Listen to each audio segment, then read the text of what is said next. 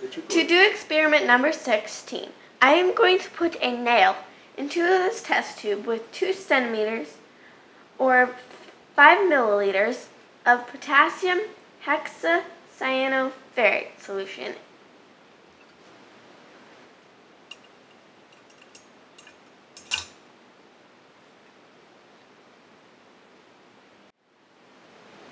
You will notice that there is no blue color this time.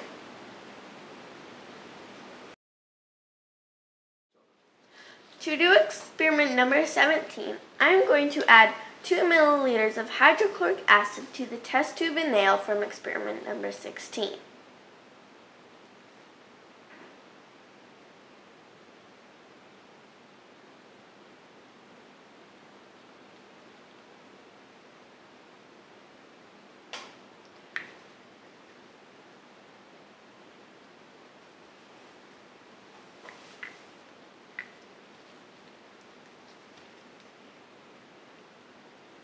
This should gradually cause the nail to turn blue.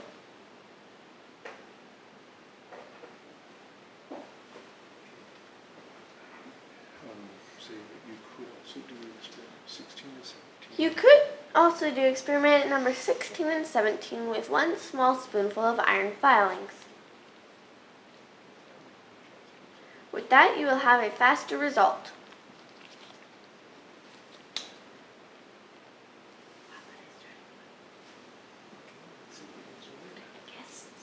See, it's slowly turning blue. As you can see, it is slowly turning blue.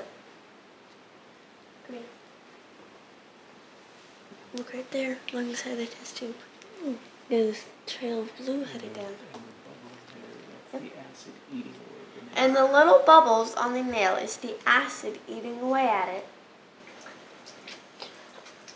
As you can see, the nail that is in the solution is mostly covered with blue.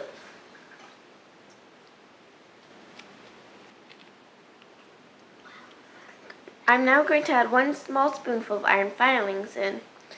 Now, these iron filings are very, very tiny.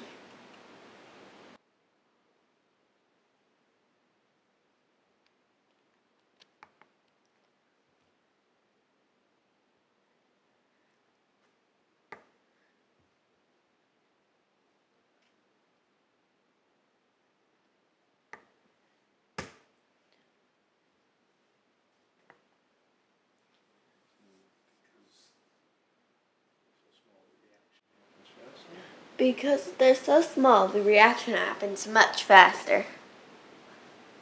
There's some that stuck to the side of the test tube. Good. Complete. And that concludes experiment number 17. Go for it. Experiment number 18 is a control experiment to make sure that your hydrochloric acid does not have any iron. With lower quality products, that can definitely be the case. To begin, I have 3 milliliters of water in this test tube, and I'm going to dilute 1 milliliter of hydrochloric acid in it.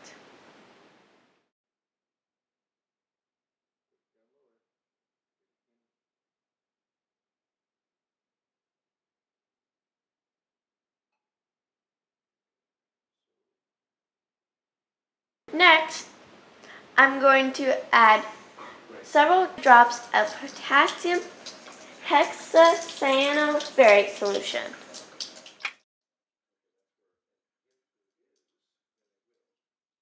And if there is any iron in the hydrochloric acid, it will change color.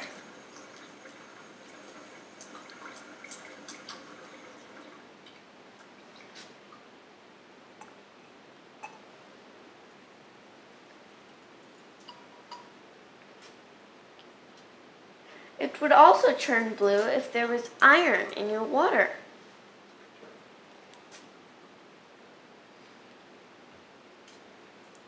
Since there is no blue color, that means that our water doesn't have iron in it and neither does the hydrochloric acid. And that is all there is to experiment number 18.